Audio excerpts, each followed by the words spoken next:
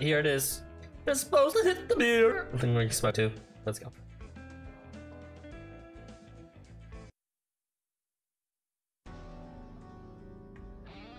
On the day that Tezcatlipoca and Quetzalcoatl, friends and siblings, fought the chaotic war of creation, the two of them stood shoulder to shoulder, matching in posture and expression.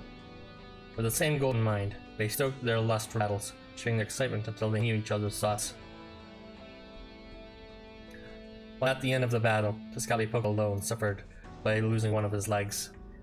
Leaning on his friend's shoulder and seeing his friend's expression, he alone felt a different revelation. In making an irreversible sacrifice, he had been the only one able to bring such an expression to his friend's face.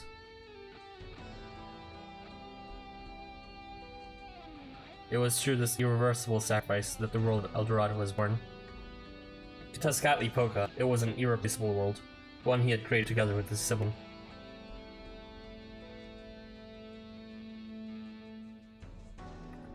Those who looked up to its creations gained a belief that their world was born of war and maintained by sacrifice. This is the reason Tezcatlipoca and Quetzalcoatl continued their war even after the creation of the world. They shined as two suns in constant pursuit, in perpetual conflict. Their war had always been a fight to the death, a battle that required every ounce of strength and wit. If it had not been, they would not have been able to support the belief of the folk of their world. So the folk continued to place their faith in them.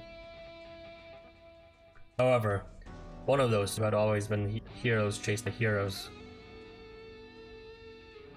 It was Tezcatlipoca who bore the burden of maintaining the world as its world representative.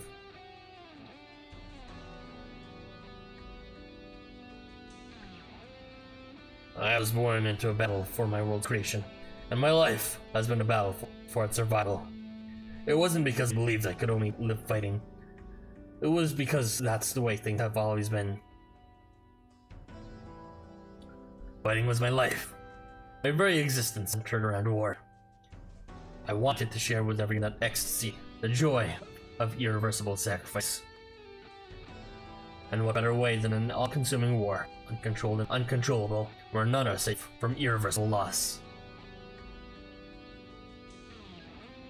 I do not know any other way of living.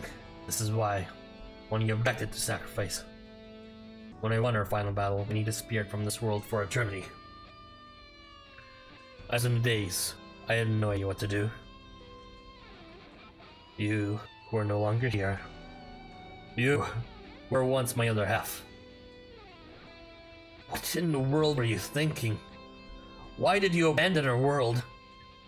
Why did you abandon me? Tezcatlipoca screams these questions to the sky, having had to carry the role of supporting his world all on its own. Instead, he tore down the very palace he had created to the point where it could not be rebuilt. The only evidence that you had lived, gone from El Dorado we had created. Why? Did you think there was something more important to us in our world? I need nothing, and yet I wish I chose to continue the battle of that fateful day.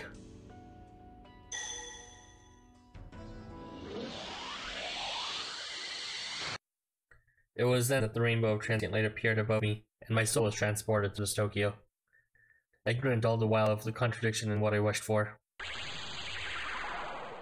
The contradiction in his wish.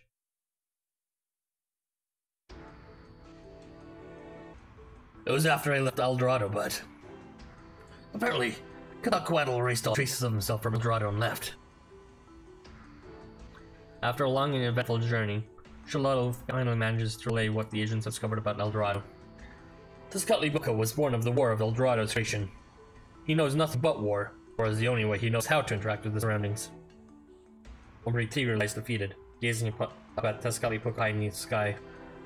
Thoughts he has always kept himself come flowing from his mouth of their own accord. He has never felt anger or resentment towards anyone. Never has he waged war against anyone out of true fury or spite. If he ever comes to feel those emotions for anyone, they will be directed towards himself, towards his own face in the mirror. At that moment, I am sure he will finally realize his own hypocrisy. Overwhelmed with grief at the thought how his shining star will suffer, Umbri Tigre begins to weep. A reflection of himself.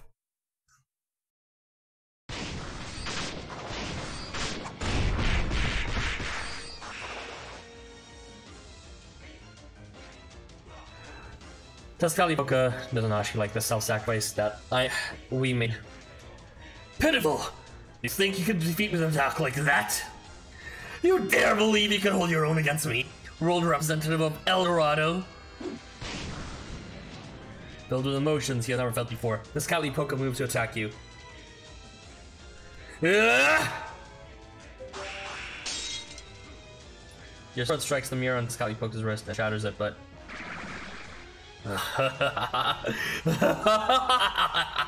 Is that all you have? Just before Tezcatlipoca unravels its wax threads and disappears into the surrounding mirrors.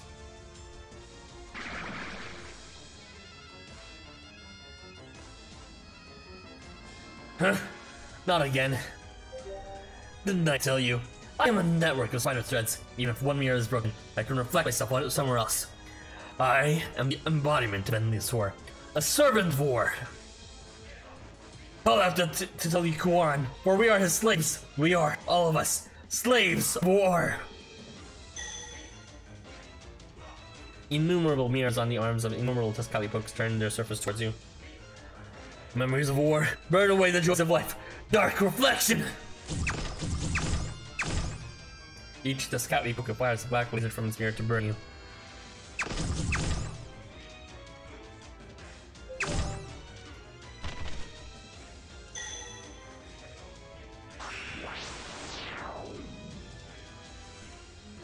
What is wrong, Laylerhuff? Where have your fangs gone? What of the part was what you called the double dragon? You want me to use it? I think I understand. You can only use that move at your full power once. That's because it opens an exception cherry within your own body. Oh, is that what it is? Um, well, yeah, that makes sense. Uh, well, I mean, in terms of, it makes sense of why he was hitting his own sword with his own other sword. I'm not sure that why that what exactly to that would cause an exception, but we already know that Solomon Kun is kind of an exception in himself. Um, well, he has like 23 different rules uh, to find an exception with, so maybe that's how it works. Had I not deactivated the system of El Dorado in time, he would have collapsed from your injuries, and our final battle would have remained a distant dream. You figured that out? I imagine back then, you lent that arm of yours to someone else. Then, the rules of your world and that individual's world clashed, The two guns are between the two of you. The collision of two rules yet to be ranked in a hierarchy caused the reaction that overpowered the, the app's restriction. That is nothing exceptional as far as the predetermined hierarchy of rules is concerned. However, as I'm sure you know, a rule in chaos causes unbearable pain, leading to the destruction of mind and body. Niwaka when he turned an exception, the Bounty when he turned an exception, and Ophion when he turned to exception.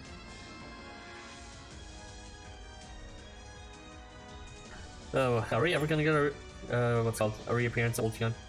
The collisions of the rules that Oniwaka and the others brought about supplied them terrible strength. That strength was what inspired you and your friends to develop a double dragon attack. You carry two of yourself within you, and allow them to clash. Exception on demand. But yeah, I'm confused about the specific rules that causes the exception. One of them is to cut gravity. I forget what the other one is, I, but I wouldn't see directly how that would cause, a, you know, a contradiction. You can only stand intact like that once, but you can never catch hold of someone like me. Vivid anger, likes of which Tezcatlipoca has never felt before, burns bright in his eyes. However, I won't go easy on you. You've always fought until we had nothing left to give. Let's see if you can avoid me this time. Tezcatlipoca unleashes even more mirrors in the air and aims them all at you. Dark Reflection! There's too many. Just when you think all is lost. Appear in all your power.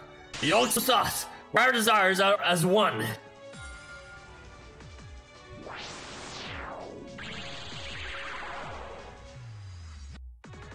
Grab on! We're getting out of here! As if protecting the side you can't use, the shore warps out of nowhere into the sky above you. nice save. That's right, he has a Yogg-Sothoth's tap teleportation. oh man, he really mastered it. And we would, might be able to know more if, you know, LifeWonders actually translated the dungeon. Please, no? Come on. As soon as you grab onto him, he'll leave your space once more, and the two of you disappear. Scallypoke's laser sears through the ground where he had once been standing only once before. I'm a little late. You're right, Arden.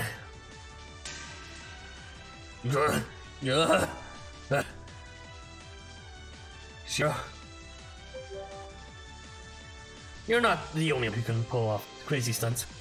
Someone's got to. Watch your back. Watching the two of yours, you supporting each other, the Scallypoke freezes as if struck by lightning. You remember the scene, that moment, that day. It's eerily similar to the one he has tried so hard to forget. Hmm? What?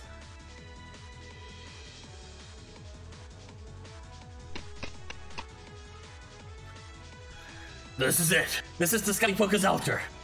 The Scallypoke's altar stands deep in the jungle, the symbol of the uh, collective faith in the El Dorado. In other words, it is the center of the world of memory uh, the system El Dorado has created.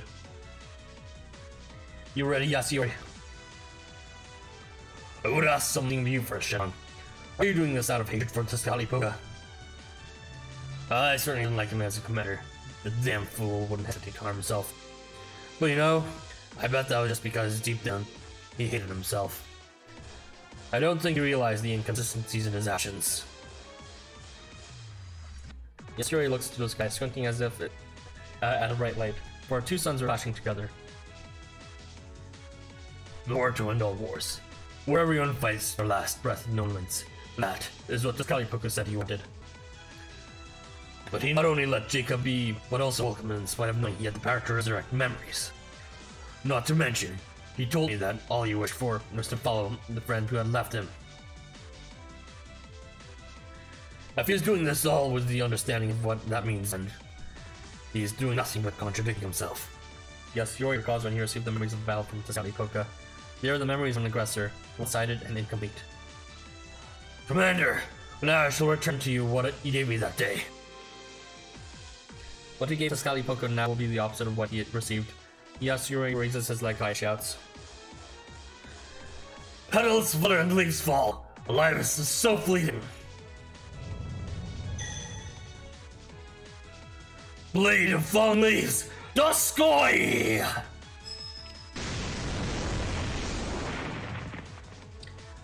Through the Elder, Yasuyori's rule surges into the system of Eldorado itself. The sacred artifact cannot give memories to others like Jacob's can. However, it can unlock memories someone has healed away. That explains his immunity in his uh, kit to all locking abilities. What is happening? Bring in the mirrors that make up Scallypoke are memories of his time together with Quetzalcoatl. Memories of shared laughter, of shared tears, of times when they support each other's battered body. Days he cannot ne never return to. Memories that can never be undone. These, the Scallypoke believes, are contradictions he cannot face. As a world representative, he must put the preservation of his world evolves. These memories will undo him. Instinctively, he finds himself running from them. Like a fly pursued into a spider web, he drives himself into a corner find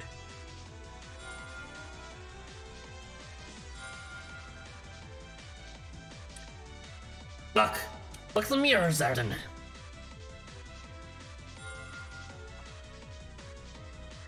Scallypoke's myriad mirrors uh, seem to shatter from inside out, but one remains whole, that serves emanating palpable grief. That's what Scallypoke is. I think I understand. My sword will guide the way. Almost as though it has heard you, your sword begins to glow. Alright, let's do this, Shiro. Time to finish this. Just put the, the mirror.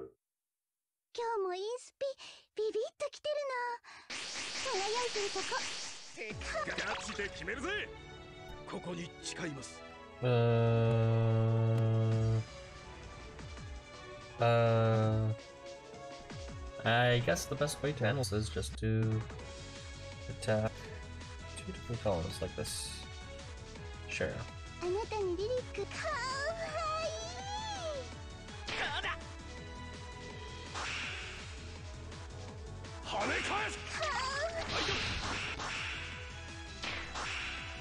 my god. Did he have evasion or something? Oh no, it's just stuff. Thank god. ここに誓います。Uh あなたにリリック聞かしてほしいの。かわいい。かわこの胸は熱く。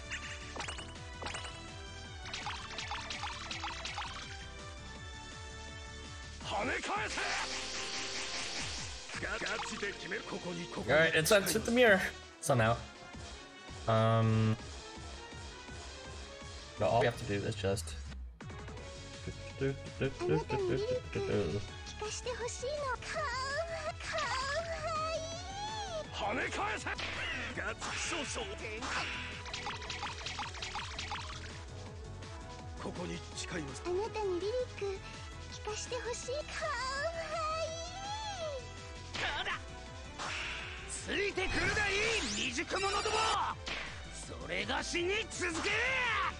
跳ね返せ跳ね返せ That has a lot else. ここに I guess I'm supposed to hit it repeatedly.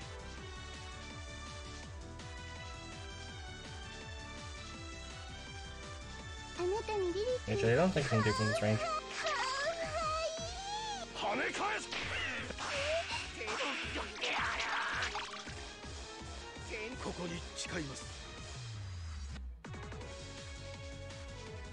なたにリリかわいい跳ね準備は良いかでは行くよ見せてやる跳ねか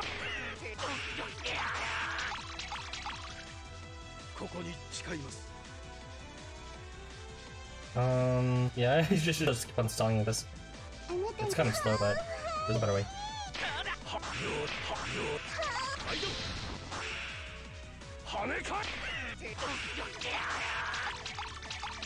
I'm sorry, Leek, but you're just gonna have to perish for a bit.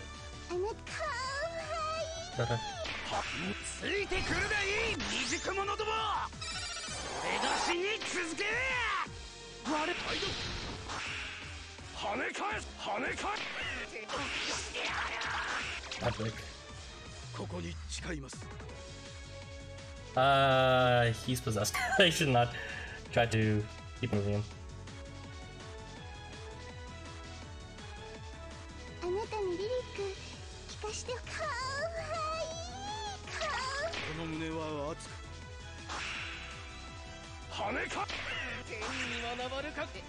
Why are you trying?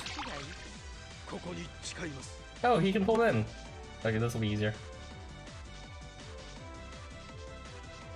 Um, but he's got. Uh, you just need to... What's it called? Okay, let's do this thing.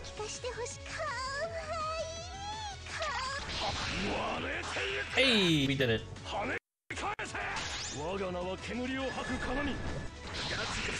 Oh, he stole was best. No! I got it. I just need to stop it more. How do you even get charmed? You suck ass. Sorry, Irby, but seriously. The heck.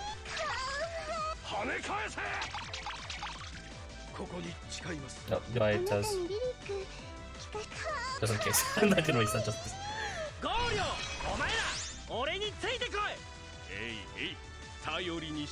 He took like guts, right? He did. I'm glad I didn't just uh, put the directly behind him. Alright, goodbye. あなた Go, Lian and Sheik! Overpowered! ついてくるがいい未熟者どもそれ The が energy 死に続け ends the war single handedly. No support needed. この身を焦がす紅葉はなんだ Poggers. そうか友よこれが愛なのだな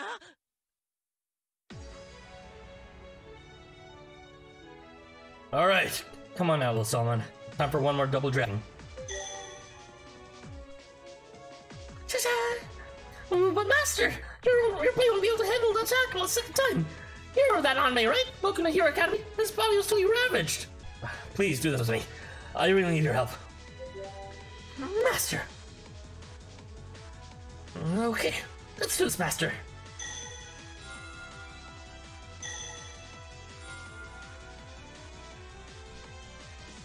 Though Solomon's image melds with your arms and your sacred artifact line in your clenched fist.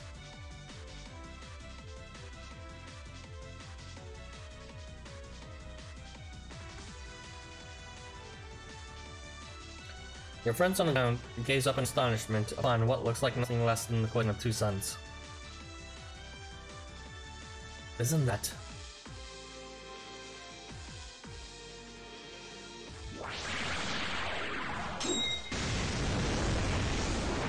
One hand shines your blade which severs the heavens, and your other hand shines blade which severs the earth.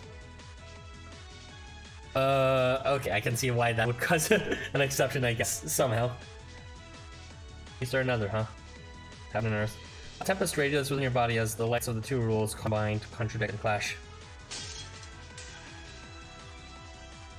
Half of your body threatens to short circuit, and the other and the hand holding your sword shakes, unable to keep steady on the aim. Don't worry, leave the aim to me, Arson. Shiro supports your body with one arm, and as he opens his book, he declares, Open! Ultimate Gate! Yeah, the rose really delving into a lot of uh, cool techniques here right now. The power here unleashes and blazes a trail through all of space-time, creating a path for your sword. Double Dragon. No! Cosmic Dragon! aka the AR.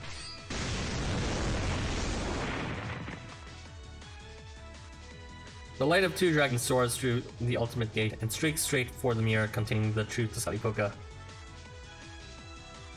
Ah! Ah! Salipoka smiles, making no move to avoid the attack, has finally realized the contradiction in his own desires.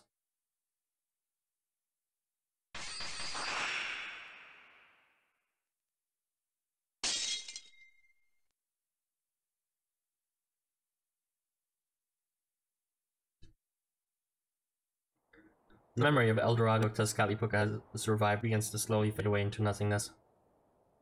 As his world returns its, to its chaotic origins, Tezcatlipoca mutters to himself.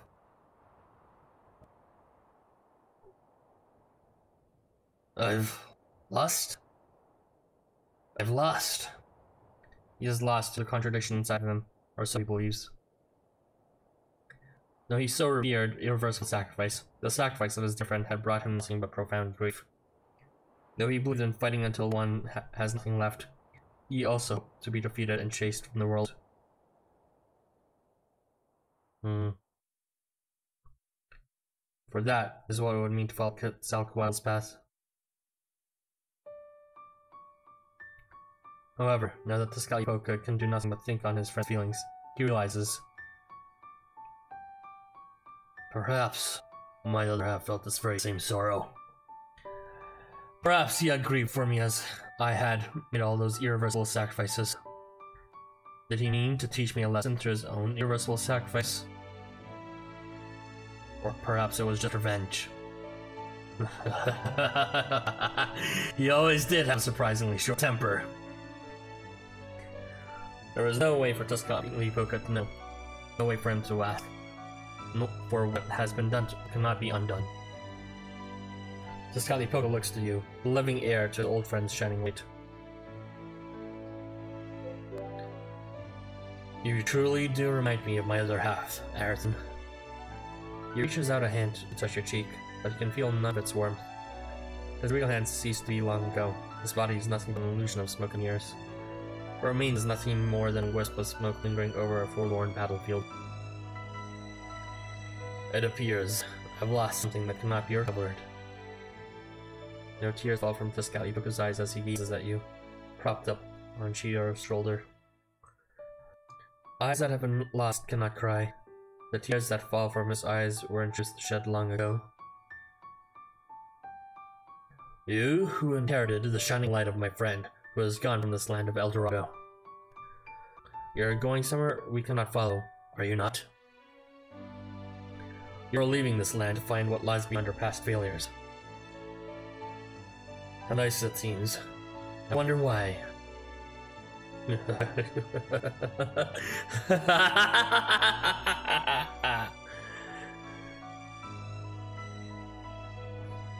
Puka's laugh reverberates with the same vigor as it did in bygone days.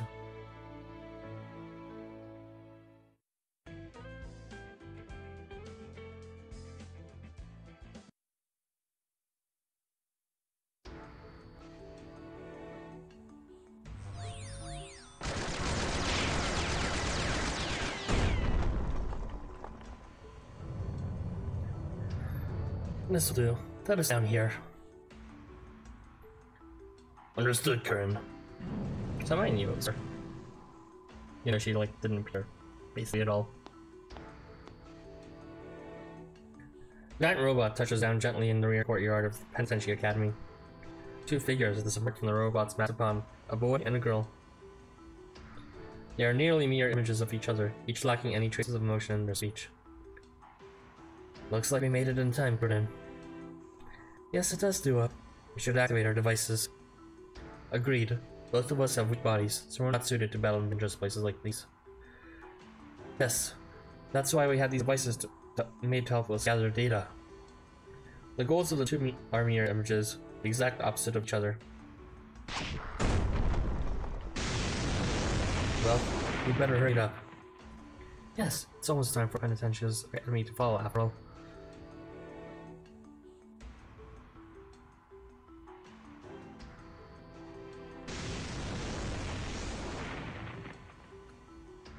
What the? Everyone, look at the screens! We looked at the surveillance monitors and the commander to see explosions all over Penitentiary Academy. We're being bombed? Who's doing this? What's happening? We're under attack, it seems. It will not be longer before Penitentiary falls. The destruction of the school would mean the death of Tuscalli whose existence is reliant on the school's network. Oh, I see. Tuscalli They... Yes. They are a part of the Warmongers forces. Machine troopers manufactured for the war. As none of our seven representatives are willing to give any ground, they employ a system of majority rule to make final decisions. The guild masters of the three true guilds are that system. These machine troopers are manufactured and controlled by one of them. In other words, at least four of the seven warmongers have decided on the destruction of Penitentiary Academy. That reminds me of the way Roppongi Guild was structured.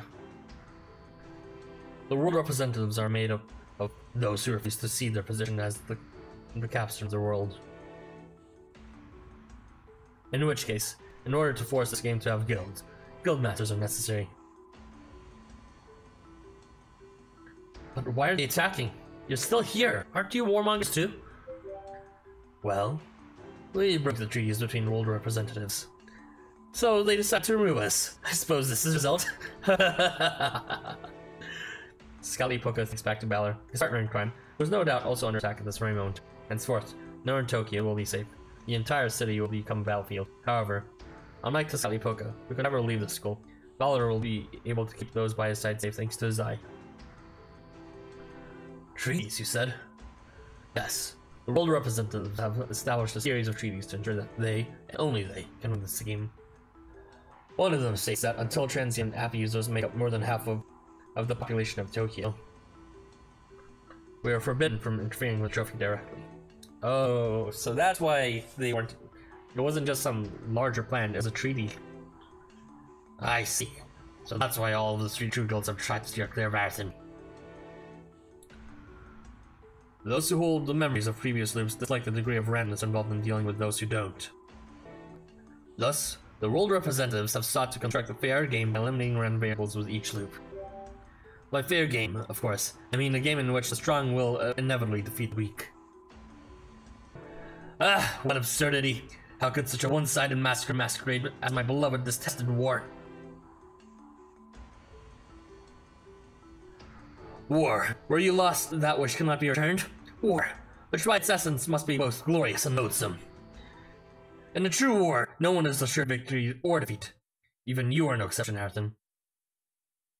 What do you mean? Tezcatlipoca does not answer your question. Instead, he lets out a roaring laugh. I can all see the tears falling from your eyes of those who turned war to farce. Should there be another loop, I'm sure they will come to destroy us even before searching uh, the other conspirators. I'm sure this little incident has labeled us as the most threatening of the world representatives. However, there'll be no such loop, at least not for me.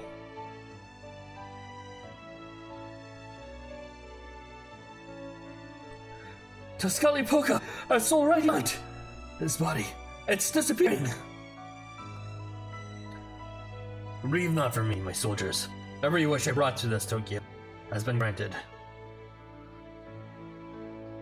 War is an endless loop of retaliation, counterattack after stinging counterattack, and continuous repetition. When I think of it that way, my son's final blow was indeed the best, and the worst he could have struck. Though, if I should tell the truth, I don't truly realize the pain of it until just recently. Yet it was that pain that lost me the battle this time around. How brilliant you shine, my friend. My other half, to battle with you is always the utmost pleasure. Tezcatlipoca wishes to return the favor with his own counterattack, here at his end. This will be his final counterattack, one last strike using everything it has. Yasuyori Kobungu I must thank you for your obedience. To Tezcatlipoca, are you certain you are satisfied with this? You are to me, as Shalal is to Quetzalcoatl. Showing me the strength to seek out what lies beyond this world of self-sacrifice. It will be mirror that allow me to see my own desires. I had hoped to grapple forevermore with my sibling, Quetzalcoatl, in an endless cycle of victory and defeat. But instead, today, I find myself claiming both defeat and victory. Tuscali smiles. He is retreating today in shame, but also in triumph. Perhaps Tuscali hadn't expected there to be such an end without an end. Tuscali Are you in Quetzalcoatl?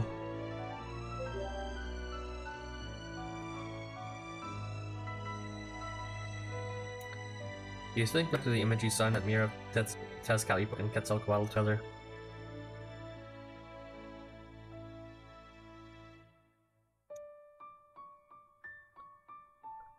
Now then, you should all keep moving. Even deeper within these headquarters, you will find a solitary confinement unit. The man you call your teacher is there.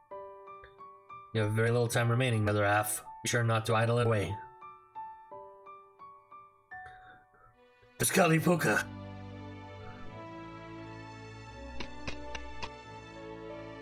Shalal and the others take off, for it has suddenly become evident that there's no room to leave. There is no time to mourn this parting. They must carry on.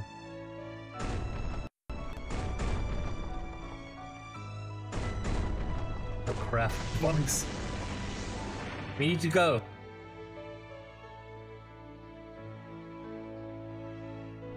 Oh, Tezcatlipoca, my soul radiante, my super estrella. Umbriti Grace sinks to his knees, his smile still as brilliant as ever. Please, allow me to educate those who have come to attack Penitentiary Academy in our own form of war. Yes. Yes. Educate them brilliantly, my beloved heroes of El Dorado. These novices of war believe they will face no resistance for us. Teach them the splendor and ferocity from which we make war. senor, si, si, senor.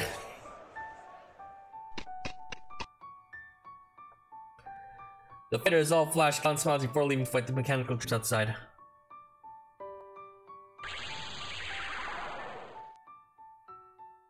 Hmm. As the phantom of the Tezcatlipoca washes the last of his soldiers leave, its form finally starts to dissolve into thin air.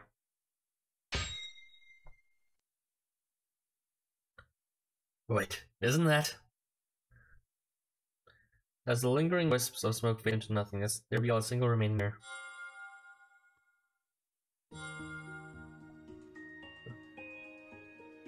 As if driven by instinct, Rick, now alone in his room, moves to it up. It is a motion not unlike a wolf closing in on its fallen prey. Is he gonna transform him? What? Something's flowing into me. Oh yeah, he's a world representative, so you know. And and the world representatives keep their memories in their sacred artifacts. So if he, he gets that, then he should know about all the memories, just like uh, he was able to take Astons, right? Memories begin to flow into Break's body, and his form begins to change. So he should be able to know about past loops now.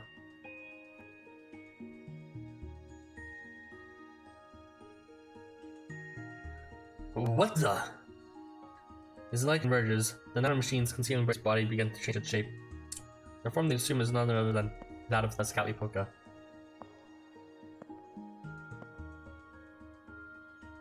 Searcher, Azathoth, and now Tezcatlipoca. This is the third set of memories Break has collected. Oh, so that's the other. These fans are so smart. Like now, I understand what uh, Plan B was about. Plan D, uh, as we covered earlier, that was a it was Plan B. Actually, I forgot what Plan B is about. But yeah, Plan B is all about uh, collecting the information about world representatives. Jeez, notice how he sh- she uh, excludes uh Babylon because like her memories te- technically weren't relevant for uh, the consideration of world representatives. Oh yeah, Plan B. I think it was related to R19, um, about him being able to collect information. Uh, not well, yeah, collect information, uh, uh, being able to take advantage of the technology or something. Who are you? Uh, how rude. You really should show more respect to one of your manufacturers. I'm essentially your parent. My manufacturer? You mean you made me? To be more specific, I'm in charge of one of the three personalities that lie within you. You're created as a joint effort by the three true guild masters of the collective known as the three true guilds. Oh, so he's neutral. So, I really am a machine, or robot you created. Personally, I don't think it should come much of a shock. There's no significant difference between your creation and an animal being born from the womb. In fact, my siblings and I are being created from test tubes as part of an experiment. I've got a bunch of questions, but there are two things I gotta ask you first. Why did you create me? And why have you abandoned me until now? I'll answer your second question first. You are incorrect. We did not abandon you. I'm quite sure you don't remember this, but you erased all traces of yourself and ran away of your own volition. You ran away from your original home just like Arthur. Wait, I ran away? What the hell are you on about? The girl looked down at the mirror held by Break, still in the form Tezcatlipoca. Just as Arathan is successor to the Exiles, you are successor to the World Representatives. Huh. Both of you are here, much like reflections in a mirror. Continue as you are. The experiment that this this endless game has a long way to go yet. I would imagine Valor may be the next to disappear from this Tokyo. You must retrieve his memories as a world representative from his sacred artifact before that happens.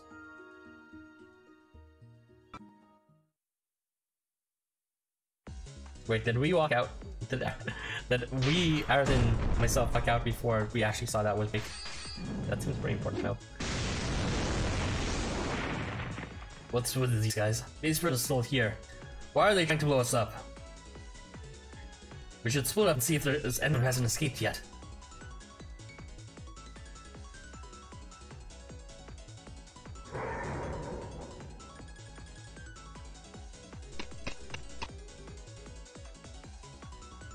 Alright, everybody out.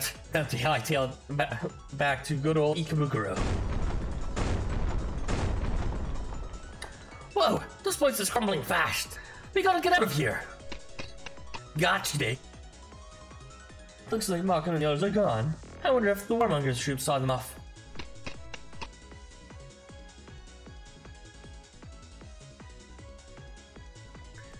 Arthur.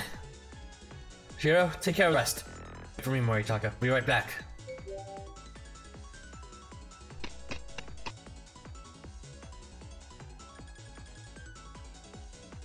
So I see that Tezcatlipoca has been defeated, and his accomplice Speller is now wanted man. The pact has been broken, and the ringleaders have been punished for it, one and all. How wonderful. no, you're forgetting one of the important characters in this chapter of the story, Bale. The world representatives who run the underground auction house and originally sent the trophy to Penitentiary Academy. Tezcatlipoca's other accomplice, Mahakala Devaloka, the Great Black One. Isn't he like the main baddie of the Warmongers overall? Amaterasu Sue closes her eyes and thinks of her young brother. Tsukiyomi, no doubt somewhere in Tokyo. I knew it. I can't feel my ties to Tsukiyomi. How could I have lost sight of the world killer? If Tsukiyomi is not dead, I can only think of one other possible alternative. He must have been swallowed by the thing, the only thing Tokyo capable of engulfing all light. How caused darkness? Wait, Tsukiyomi got caught?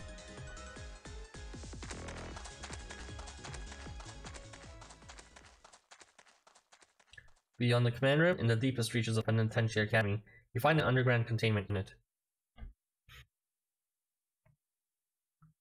Within its dark confines, you see the shadow of a person. It is a silhouette you know well. Is there a reason we only saw silhouette of you all the time? Mr. Mononobe?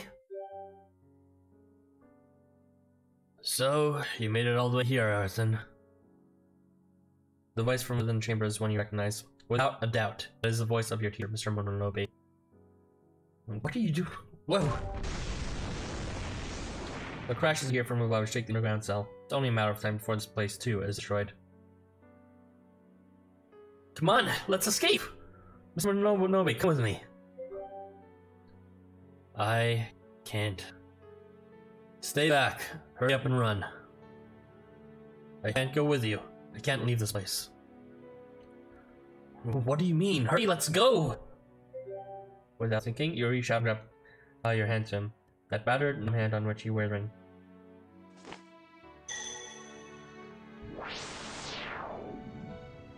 What? The moment you touch him, the pentagram on the back of your hand shines with light you've never seen before. What's happening? How come this hasn't happened before? This isn't the first time touched. Ah, uh, I see. Half of your body has become one with Salamanis. I'm glad to have given you that ring then. Even without me, you'll be fine.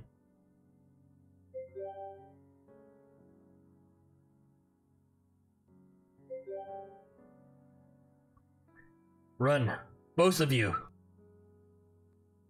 What the fuck? Mr. Monono, your body!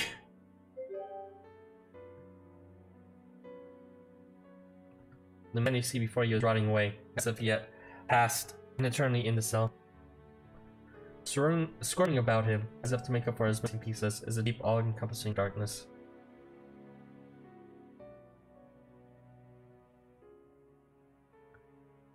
Tezcatlipoca mentioned. Repeating self-sacrifice? Hmm. No way. No! For some reason, upon seeing Mr. Mononobe, you remember what Tezcatlipoca said. You remember how, over the course of this endlessly looping war, he chipped away at himself until there was nothing left. You remember the body, so far beyond repair, that he patched up with black smoke. Did Mr. Mononobe sacrifice himself? Ikebukuro Coliseum, Mishima Ward. Ooh, music. So this is the plan to secure more information.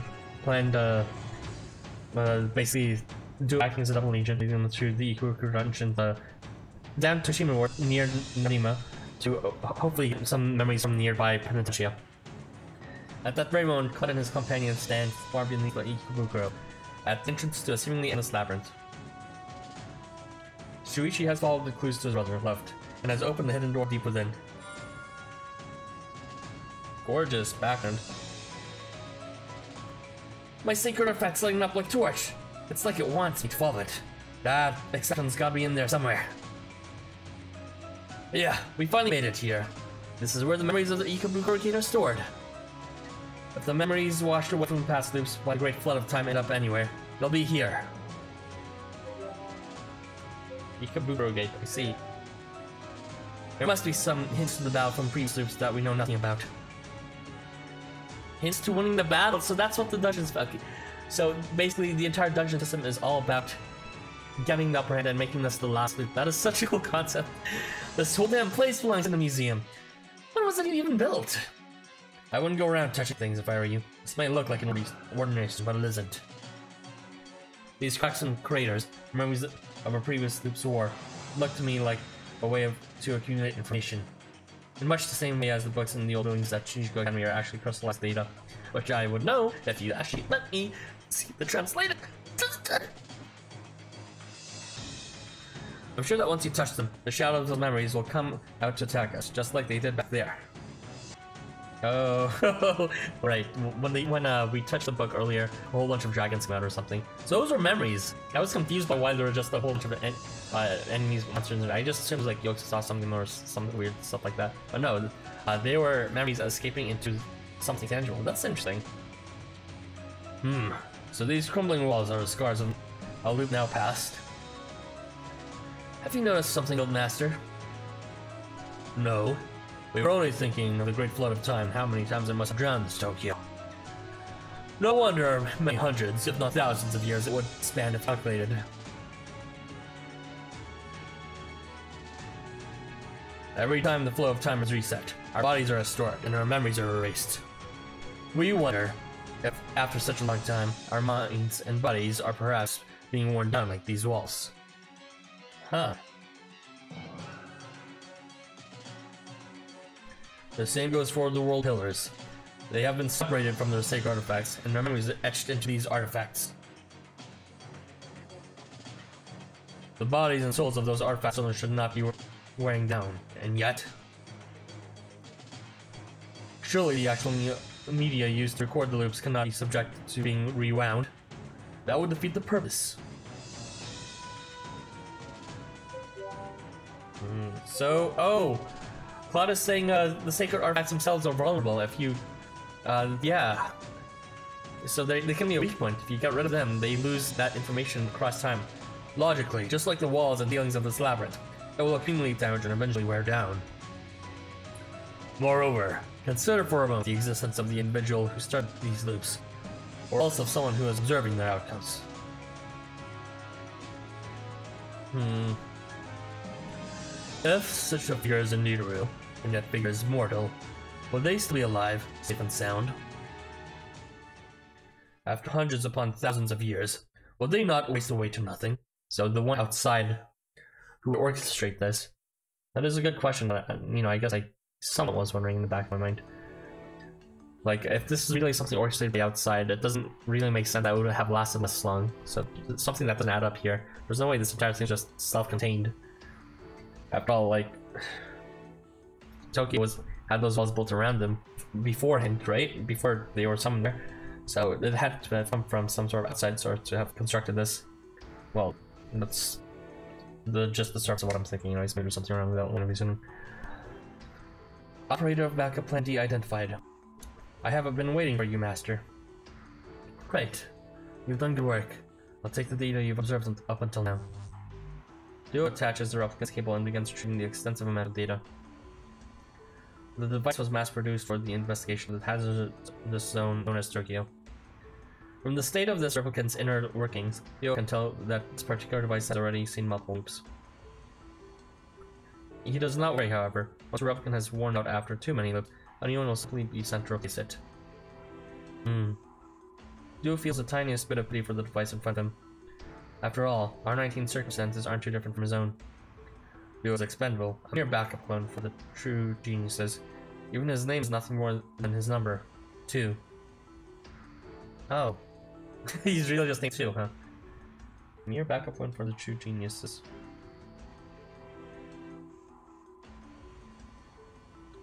Everything in this world, including themselves, is disposable, replaceable.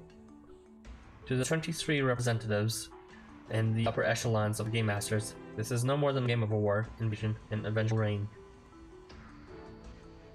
Is that a reference to like warmongers, invaders, and rulemakers? At the top of the Game Masters sit the three true geniuses who perform the three true guilds' decision making. A girl named Kurin and the two others. The guild masters of the three guilds.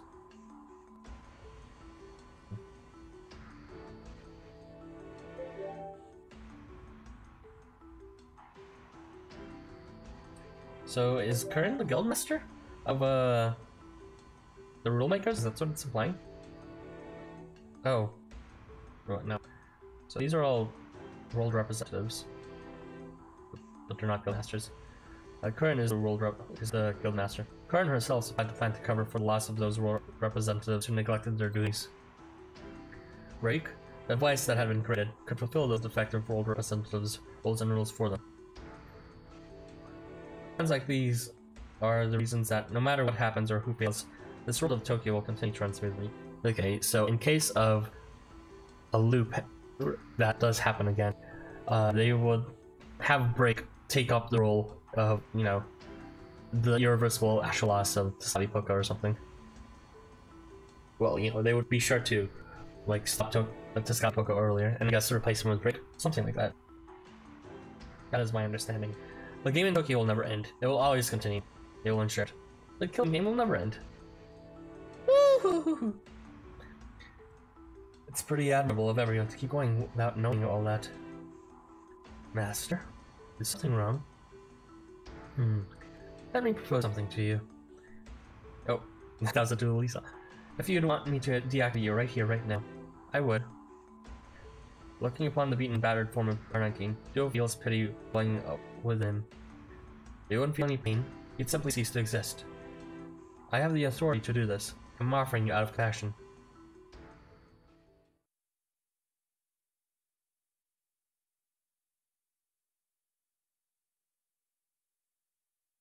Mr. Mononobe?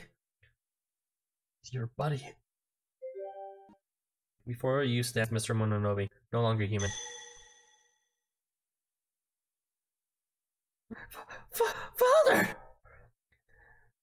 Bill Solomon's trembling voice echoes throughout the chamber as he emerges from your arm. The man before you abandoned you and disappeared. Why do you still chase after him? The darkness from Mr. Mononobe's mouth should rise and twist in an approximation of a moving mouth. However, the words are together in Mr. Mononobe's voice, from Mr. Mononobe's lips. Who are you? You're not my teacher. I suppose I should introduce myself, Arisen. You may call me Mahakala. Oh, this Mahakala? The world representative of Devaloka. His tone is level, kind, and full of compassion. The voice embodies everything you know of Mr. Mononobe. I am an ally of Tezcatlipoca and the others against whom you, you were just fighting. You see, I too desire ruinous war which leaves nothing unscathed. Where's Mr. Mononobe? Get out of his body! You really want that? If I leave this man's body, he truly will disappear. What? Why? This man's foolishly discarded his sacred artifact and handed over his rule. Now he is nothing more than a hollow shell. Nothing but memories, with nowhere to house him. Think of him as a ghost, one who will never be able to leave a battle zone. You mean Kai used to be? Don't tell me. He sacrificed himself for me. Indeed. And even more foolishly, he erased every trace of his existence beforehand.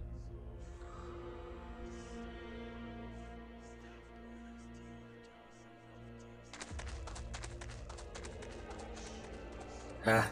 Uh, uh, what the blazes is going on? That's what I want to know. What on earth is happening?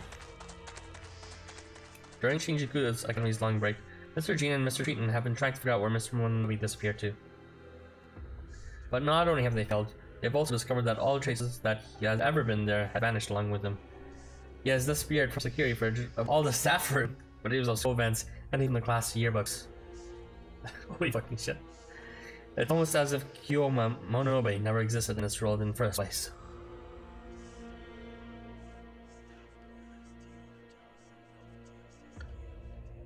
That foolish, destructive honesty is precisely why I adore him.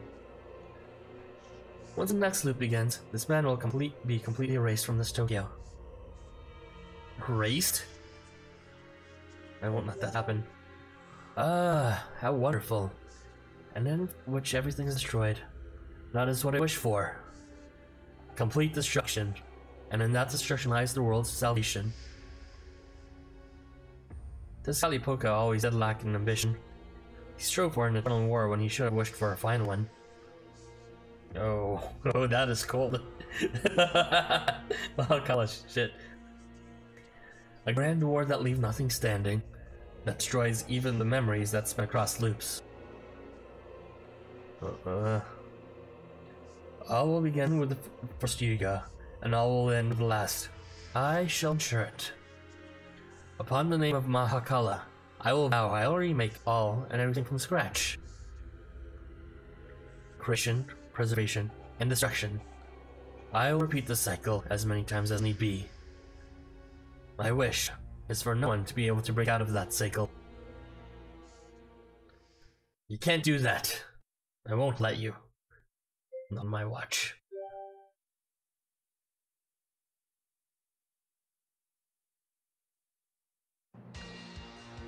No, I reject your proposal, Master. Why? Do you want your death to be more gruesome than it needs to be? Answer. I wish to choose my time of deactivation for myself. I have learned that one can choose one's own fate.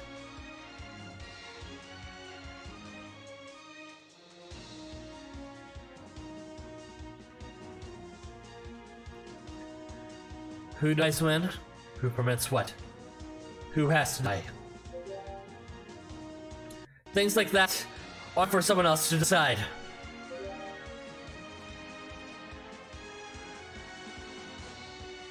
This game is over. I won't let it loop again. I'll put an end to it. Miss Mr. Mononobe's remaining eye glistens with pride.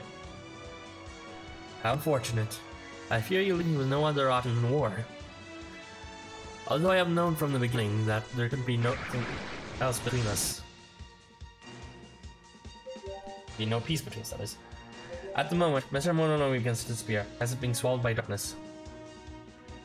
Wait! Where are you taking him? You stream into the darkness. Mr. Mononobe and Mahakala have already vanished, as if they were never even there. There you are! I've opened all the other cells. We have to get out of here! Mr. Mononobe.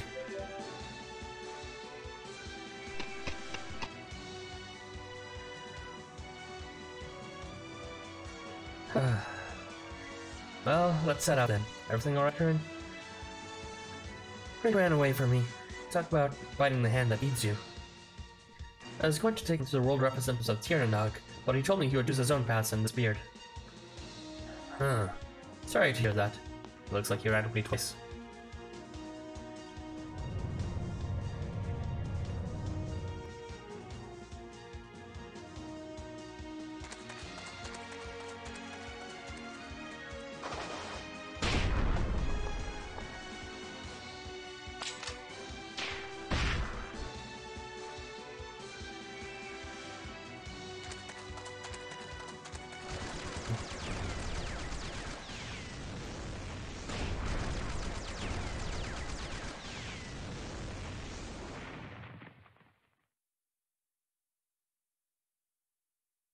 That was a long battle.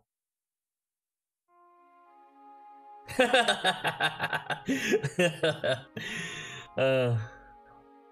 Duskway Brothers.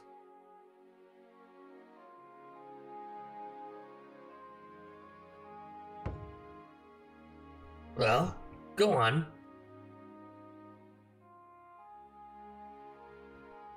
Greetings, my friends. How I have missed you.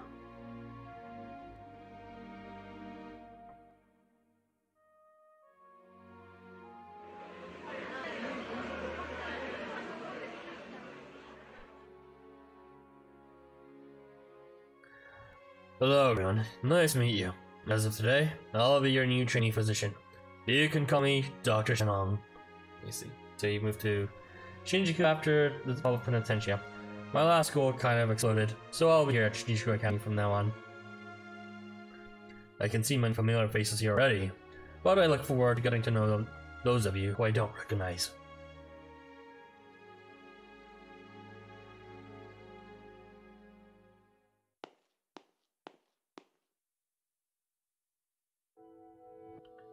Can't be! Hmm. J- Jacob! In the flesh. I thought I might pay my old guild a visit. I found myself missing your voice, you see.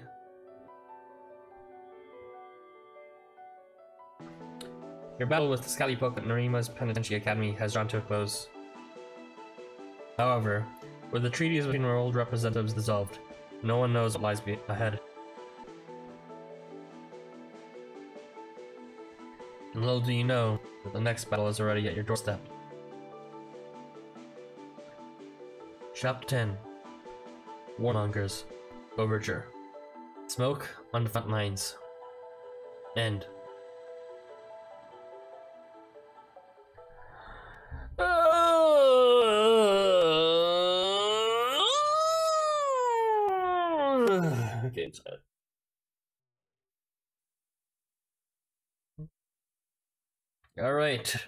Final thoughts for this. Let's switch up the guild. Oh no, my soda!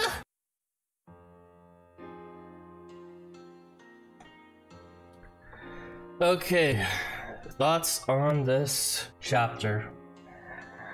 Um, there was a lot more going on. I wouldn't say it was more emotional though.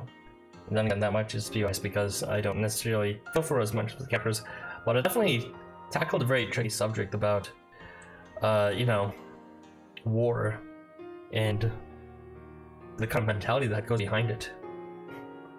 You know, you can think it's like super atrocious and like in many respects it is, but to sort of shield your eyes from the truth that some people were just raised in war and know nothing but war.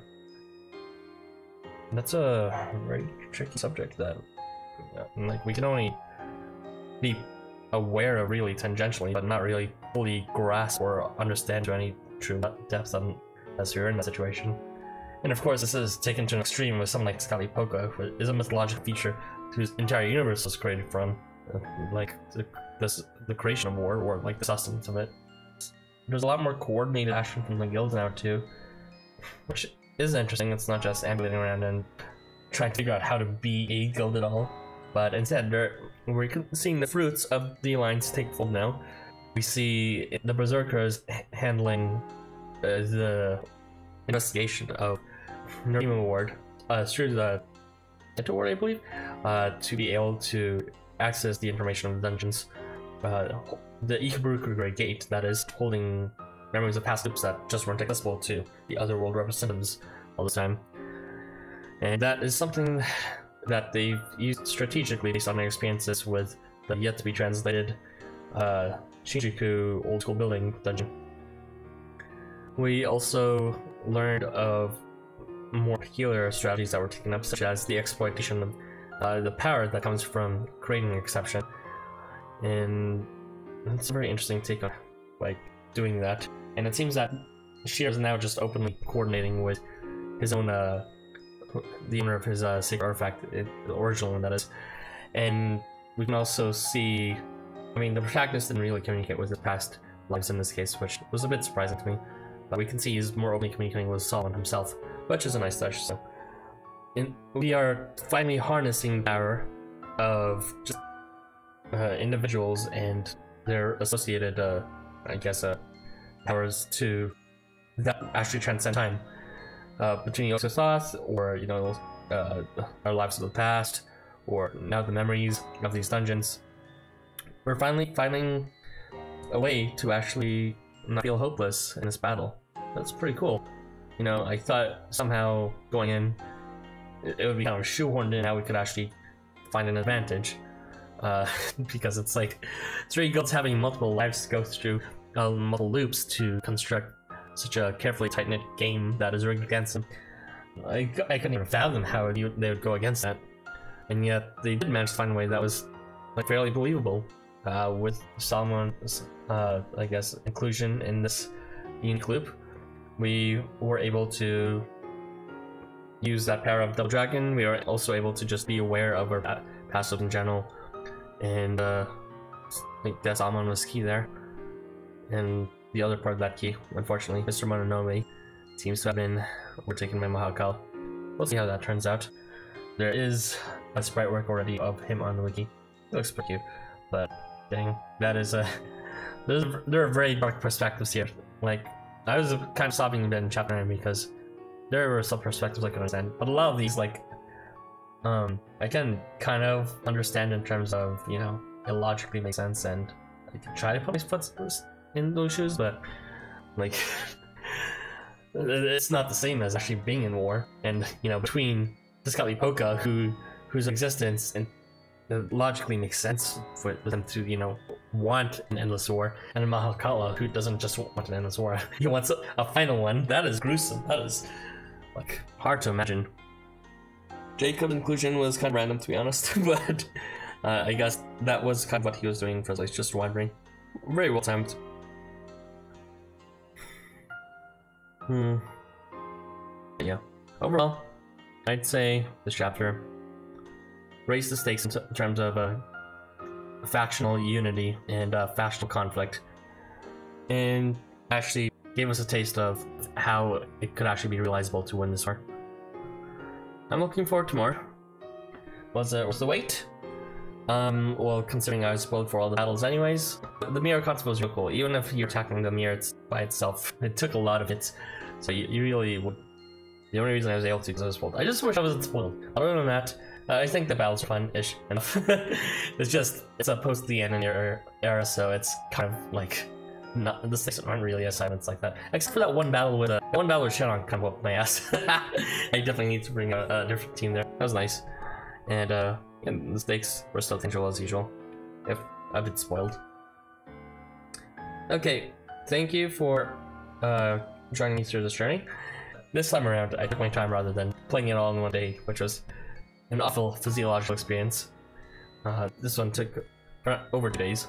But yeah, I will see you guys in the next video. Thanks for watching. Bye bye.